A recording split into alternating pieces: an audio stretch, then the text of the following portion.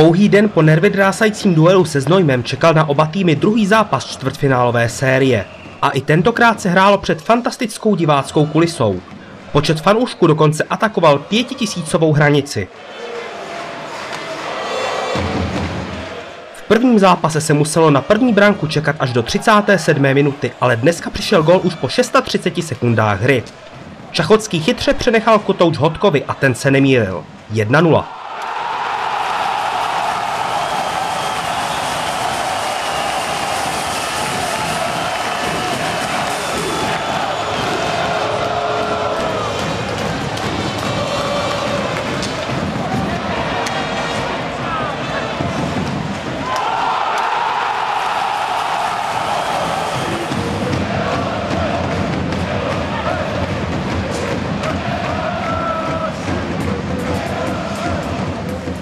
Zvedení se ale Jihlava mohla radovat jen do 11. minuty.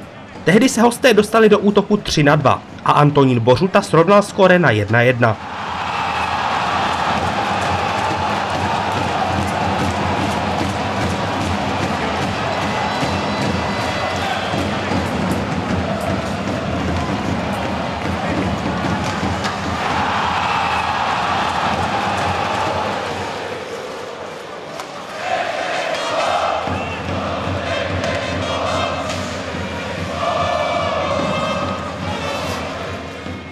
Ve druhé třetině byli hosté velmi blízko brance, ale Říhův projektil skončil pouze na horní tyčce Řehořovy svatyně.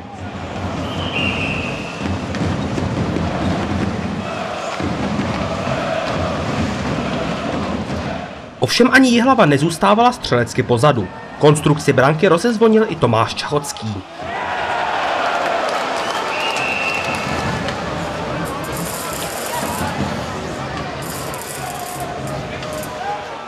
Góly ale přišly až v poslední třetině.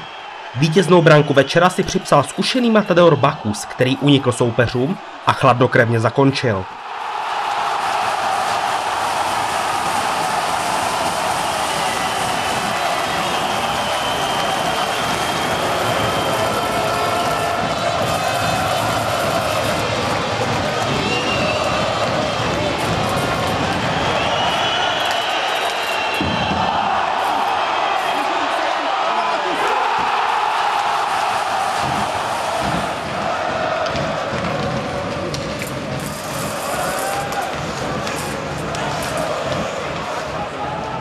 Třetí hřebíček do Znojemské rakve zatloukl mladý Adam Zeman, kterého ke skorování vybídl Miroslav Škumát.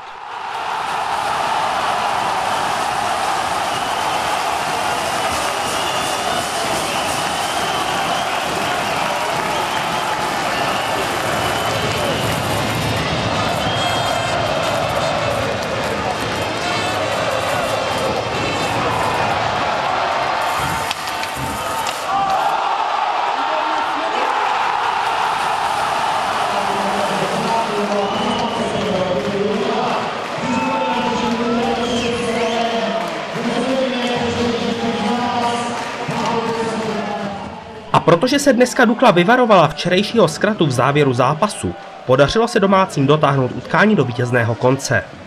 Jihlava vede v sérii už 2-0 na zápasy a teď ji čekají dva duely na Jižní Moravě. Ten první se hraje už v úterý. Do Znojma to není daleko, Dukla válí a bude potřebovat podporu fanoušků. Tak nezůstávejte doma a udělejte si výlet na jich Moravy.